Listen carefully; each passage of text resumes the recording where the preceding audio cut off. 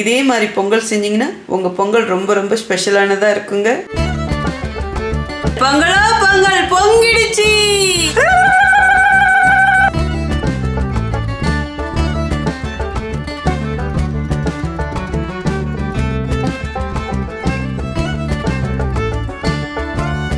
அனைவருக்கும் பொங்கல் திருநாள் நல்வாழ்த்துக்கள். Welcome to cook with Sangeetha இன்னைக்கு நம்ம பார்க்க போறது பொங்கல் திருநாள் ஸ்பெஷலா சக்கரை பொங்கல் தாங்க செஞ்சு காட்ட போறேன். நம்ம சேனல்ல யாரெல்லாம் என்ன சப்ஸ்கிரைப் பண்ணலையோ சப்ஸ்கிரைப் பண்ணுங்க. ப்ளீஸ் கீழே இருக்கிற பெல் பட்டன்ல மறக்காம ஆள் கொடுங்க. அப்பதான் நான் போற வீடியோ உங்களுக்கு உடனே உடனே வரும். வாங்க இப்ப எப்படி செய்யறதுன்னு பார்க்கலாம். சக்கரை பொங்கல் செய்யறதுக்கு ஃபர்ஸ்ட் தேவையான பொருட்கள் பார்த்தலாம் இந்த கப்ல தான் எல்லா அளவும் எடுத்திருக்கேன். ஸோ இதே கப்ல தான் எடுக்கணும்னு கிடையாது. வீட்டில் எந்த கிண்ணத்துலயோ கிளாஸ்ல வேணாலும் எடுக்கலாம். ஆனா எல்லா அளவும் ஒரே பாத்திரத்துல தான் எடுக்கணும். ஒரு கப் பச்சரிசி எடுத்திருக்கேன். அடுத்தது பாசிப்பருப்பு அரை கப் எடுத்து வச்சிருக்கேன். இதை ஒன்றா கொட்டிடலாம். இதை ரெண்டையும் ஒரு வாட்டி கழுவி எடுத்துட்டு வந்துடுறேன். ஃபர்ஸ்ட் களைஞ்ச இந்த தண்ணியை கீழே ஊற்றிடலாங்க தண்ணி நல்லா வடிகட்டி எடுத்துட்டு வந்துட்டேங்க. பாசிப்பருப்பு வறுத்தும் செய்யலாம் வறுக்காமையும் செய்யலாம். நம்ம விருப்பம் தாங்க. இன்னைக்கு நான் பாசிப்பருப்பு வறுக்காம தான் செய்ய போறேன். ஏன்னா கோயில் ஸ்டைலில் இன்னைக்கு சக்கரை பொங்கல் செஞ்சு காட்ட போறேன். ஒரு கப் நார்மல் பச்சை தண்ணி எடுத்து வச்சிருக்கேன். இதிலே ஊற்றிடலாம் நல்லா ஒரு தடவை பெசரி கொடுத்துடலாம். இப்போ இந்த தண்ணியை வடிகட்டி எடுத்துக்கலாம். இந்த அரிசியும் பருப்பும் அப்படியே இருக்கட்டுங்க இந்த தண்ணி வந்து ரொம்ப முக்கியம். நம்ம பொங்கல் வைக்கும் போது இந்த தண்ணி யூஸ் பண்ணணும். இப்போ எல்லாத்தையும் அப்படியே ஒரு பக்கம் எடுத்து வச்சிடலாம். அரிசி எடுத்து அதே கப்பாலேயே ரெண்டு கப் அச்சு வெல்லம் எடுத்து இந்த மாதிரி பொடி பண்ணி வச்சிருக்காங்க. அச்சு வெல்லம் வேணாலும் போடலாம். உருண்டை வெல்லமும் போடலாம். ஸோ ரெகுலராக நீங்கள் எந்த வெல்லம் யூஸ் பண்ணுவீங்களோ அந்த வெல்லமும் போட்டு செய்யலாம். பட் நீங்கள் எடுக்கிற வெல்லம் நல்லா டார்க் கலராக இருக்கிறதா இருக்கணும். ரொம்ப மஞ்சள் கலராக இருந்ததுன்னா அது ருசி வராது. இந்த மாதிரி டார்க் வெல்லம் தான் பொங்கலுக்கு நல்ல ருசியை கொடுக்கும். இப்போ இந்த வெள்ளத்தையும் அப்படியே ஒரு பக்கம் வச்சிடலாம். இப்போ சக்கரை பொங்கல் செய்ய ஸ்டார்ட் பண்ணிடலாம். அதுக்கு ஸ்டவ் ஆன் பண்ணி ஒரு பாத்திரம் வச்சுட்டேன் இன்னைக்கு வெங்கல பாத்திரத்தில் தாங்க செய்கிறேன் சக்கரை பொங்கல் நம்ம குக்கரில் செய்ய போகிறது கிடையாது. நம்ம டைரெக்டாக பாத்திரத்தில் தாங்க செய்ய போகிறோம் ஸோ பாத்திரத்தில் நான் மஞ்சள் குங்குமம்லாம் தடவிருக்கேன். நீங்கள் ரெகுலராக எப்படி செய்வீங்களோ அந்த மாதிரி செய்யலாம். எனக்கு வந்து மஞ்சள் கொம்பு கிடைக்கல. ஸோ உங்களுக்கு மஞ்சள் கொம்பு கிடைச்சிதுன்னா ப்ளீஸ் நீங்கள் அதை கொஞ்சம் கட்டிக்கோங்க மேலே. சக்கரை பொங்கல் பண்ணுறதுக்கு ஃபஸ்ட்டு நம்ம பால் ஒரு கப் இதில் ஊற்றிக்கலாங்க இது வந்து காய்ச்சாத பால் தான் பசும்பால் அடுத்தது அரிசி பருப்பு களைஞ்சி வச்ச ஒரு கப் தண்ணி இதிலே ஊற்றிடலாம் இது வந்து ரொம்ப முக்கியங்க. பொங்கலுக்கு அவ்வளோ ருசி கொடுக்கும். அடுத்தது நம்ம தண்ணி அளந்து ஊற்றிக்கணுங்க இந்த கப்பில் தான் எல்லா அளவும் எடுத்தோம். இதே கப்லே நாலரை கப் தண்ணி அளந்து எடுத்து வச்சிருக்கேன். இப்போ நாலரை கப் தண்ணியும் இதிலே ஊற்றிடலாம் இப்போ நான் வைக்கிற அளவு பார்த்தீங்கன்னா நல்லா பொங்கல் சாஃப்டாக இருக்கும். எவ்வளோ நேரம் ஆனாலும் பொங்கல் குறைவாக இருந்தால் தான் ரொம்ப ருசியாக இருக்கும். இப்போ எல்லாத்தையும் ஒரு தடவை ஒன்று சேர்த்து கிளறி கொடுத்துடலாம். அடுப்பனால் நல்லா ஃபுல்லாகவே வச்சிடலாம். நம்ம இடையில இடையில இந்த மாதிரி கிளறி கொடுக்கணும். இல்லைன்னா பால் அடி பிடிக்கும். பொங்கல் ஃபெஸ்டிவல் ஒரு நாளைக்காவது இந்த மாதிரி டைரெக்டாக பாத்திரத்தில் வச்சு சாப்பிட்ணுங்க. இந்த மாதிரி டைரெக்டாக பாத்திரத்தில் வச்சு சாப்பிடும் போதும் நம்ம பொங்கல் பார்த்தீங்கன்னா அப்படியே கொஞ்சம் சோறு சோறாக இருக்கும். அதுதான் இதோடைய சுவையே குக்கரில் வைக்கும் போதும் ரொம்ப சாஃப்டாக இருக்கும். அதுதான் வித்தியாசம். இப்போ இது நல்லா கொதிச்சு வரட்டுங்க. பால் நல்லா பொங்க ஆரம்பிச்சிடுச்சுங்க. நல்லா பொங்கி வழியணும். அது வரைக்கும் அப்படியே விட்டுறணும். பொங்கலோ பொங்கல். பொங்கலோ பொங்கல். பொங்கலோ பொங்கல். பொங்கிடுச்சு.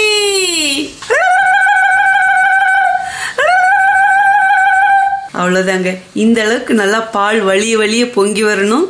இப்போ அடுப்பணல் மீடியமாக வச்சிடலாம். நம்ம களைஞ்சி வச்ச அரிசியும் பருப்பு இப்போ இதிலே போட்டுடலாம். இப்போ நல்லா கிளறி கொடுக்கலாம். பச்சரிசியும் அடி பிடிக்கும். பாசி பருப்பும் அடி பிடிக்கும். ஸோ அடுப்பணல் மீடியமாக வச்சுட்டு விடாமல் இப்படி இடையில இடையில கிளறி கொடுத்துக்கிட்டே இருக்கணுங்க. இந்த அரிசியும் பருப்பும் நல்லா குழஞ்சி வேகட்டும். அரிசி பருப்பு போட்டதுக்கப்புறம் நல்லா கொதி வந்துருச்சுங்க.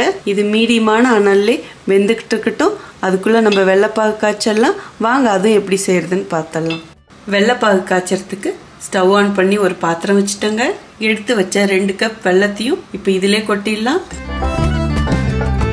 வெள்ளம் அளந்த அதே கப்லேயே அரை கப் தண்ணி அளந்து எடுத்து வச்சிருக்கேன். இப்போ இதையும் ஊற்றிடலாம் சக்கரை பொங்கல் நல்லா குலைவாக செய்ய போகிறோம் ஸோ அதனால நான் அரை கப் தண்ணி ஊற்றிருக்கேன் இதே நீங்கள் ரொம்ப குலைவாக வேணான்னு நினச்சிங்கன்னா கால் கப் தண்ணி ஊற்றினா கூட போதும். இப்போ அடுப்பணல் ஃபுல்லாக வச்சிடலாம். இந்த வெள்ளத்திலே ஒரு சிட்டிகை உப்பும் போட்டுடலாம்.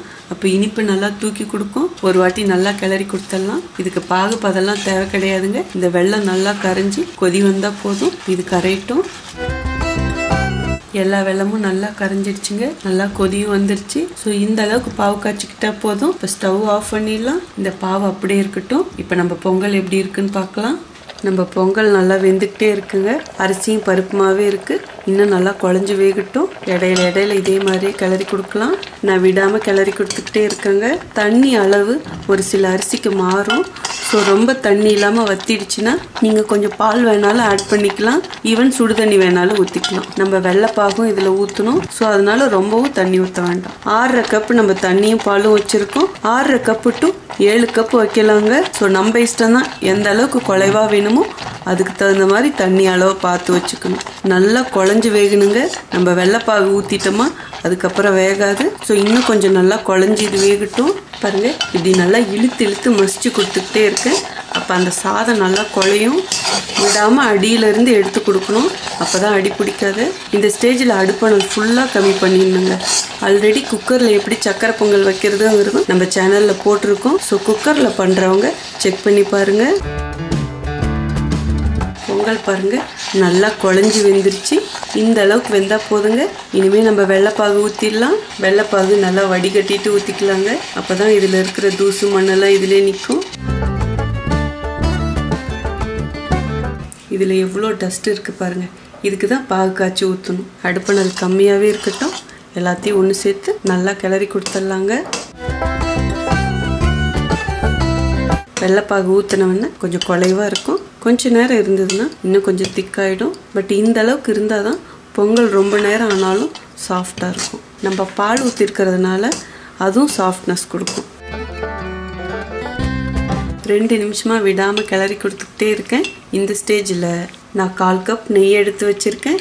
இப்போ இதிலேருந்து கொஞ்சம் எடுத்து போட்டுக்கலாம்.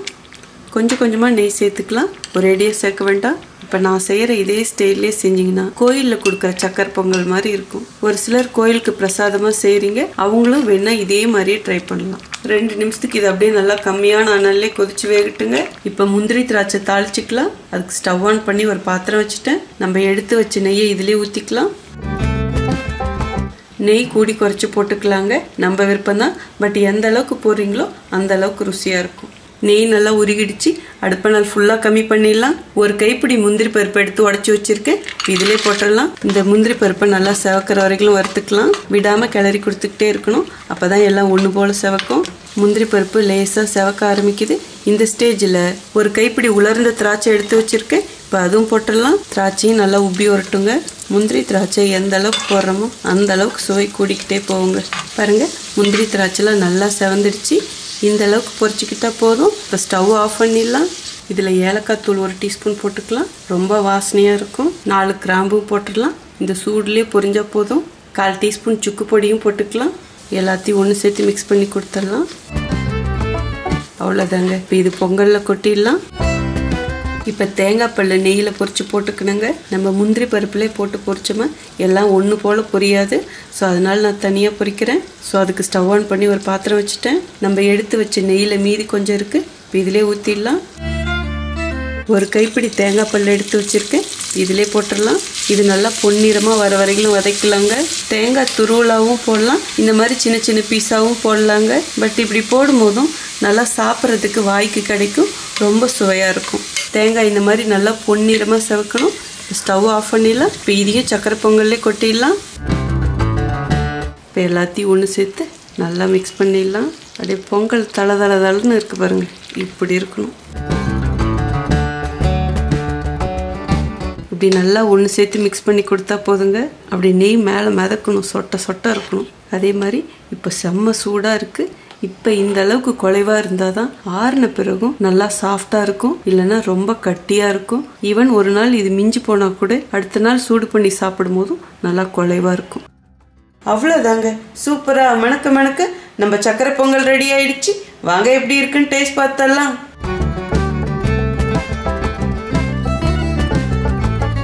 எப்படி இருக்குன்னு டேஸ்ட் பார்க்குறதுக்கு முன்னாடி உங்களுக்கு தேவையான டிப்ஸ் கொடுத்துட்றேங்க பொங்கல் யாருக்கும் செய்ய தெரியாத ஒன்று கிடையாது. எல்லாருக்குமே தெரியும்.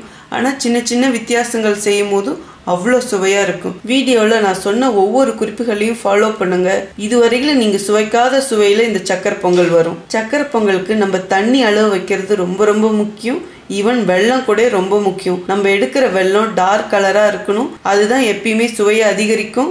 அதே மாதிரி தண்ணி அளவு. நம்ம டைரெக்டாக இன்னைக்கு பாத்திரத்தில் வச்சு செஞ்சுருக்கோம். இப்படி செய்யும் போதும் நான் சொன்ன அளவு தண்ணி வச்சிங்கன்னா அவ்வளோ பர்ஃபெக்டாக இருக்கும். டோட்டலாக இந்த ரெசிபிக்கு தண்ணி பால் எல்லாம் சேர்த்து வச்ச அளவு பார்த்தீங்கன்னா ஆறரை கப் வச்சுருக்கேன். ஆறு டு ஏழு கப் வரைக்கும் வைக்கலாம். பால் ஒரு கப்பு அரிசி களைஞ்ச தண்ணி ஒரு கப்பு ஸோ எல்லாம் சேர்த்து ஆறரை கப் வச்சுருக்கேன். அதே மாதிரி ஒவ்வொரு அரிசியை பொறுத்து தண்ணி கொஞ்சம் முன்ன பின்ன இழுக்கும்.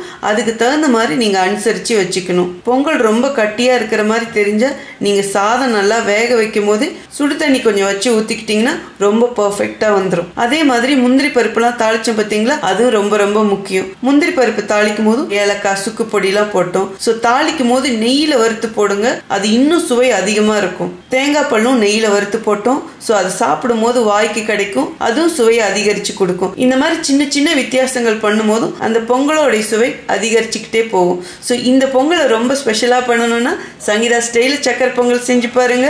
அவ்வளோ அற்புதமாக இருக்கும். இவ்வளோ சுவையாக இருக்கிற இந்த பொங்கலை நீங்களும் செஞ்சு பார்த்துட்டு கண்டிப்பாக எப்படி இருக்குன்னு சொல்லிட்டு கமெண்ட் பாக்ஸில் சொல்லணும். இன்னைக்கு நான் டேஸ்ட் பார்க்கல. ஏன்னா இது சாமிக்காக செஞ்சது. ஸோ உங்களுக்கு இந்த ரெசிபி பிடிச்சதுன்னா ப்ளீஸ் மறக்காமல் ஃபஸ்ட்டு ஒரு லைக் கொடுத்துருங்க. ரொம்ப ரொம்ப பிடிச்சதுன்னா உங்கள் ஃப்ரெண்ட்ஸ் அண்ட் ஃபேமிலிக்கு ஷேர் பண்ணுங்கள் நீங்கள் இதுவரையிலும் எனக்கு கொடுத்துட்டு இருக்க அன்புக்கும் ஆதரவுக்கும் ரொம்ப ரொம்ப நன்றி. உங்களுக்கு என்ன ரெசிபி வேணுமோ ப்ளீஸ் அதுவும் கமெண்ட் பாக்ஸில் சொல்லுங்கள் இன்ஸ்டாகிராம் ஃபேஸ்புக்லேயும் நம்ம குக் வித் சங்கீத பேஜஸ் இருக்குது அதுவும் அப்படியே லைக் பண்ணி ஷேர் பண்ணி ஃபாலோ பண்ணிக்கோங்க. இதே மாதிரி அடுத்த ஒரு சூப்பர் ஸ்பெஷல் வீடியோவில் உங்களை சந்திக்கிறேன். Until then see you bye bye love you all